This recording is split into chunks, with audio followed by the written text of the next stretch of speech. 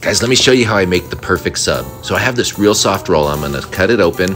I hit it with a little mayo and mustard on both sides. So I start with the mayo, a dab of mustard, swirl that in.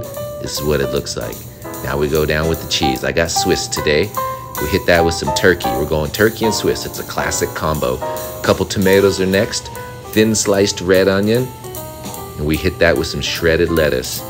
That's the base. Now we go a little red wine vinegar, a little olive oil, I got some crushed oregano, salt and pepper.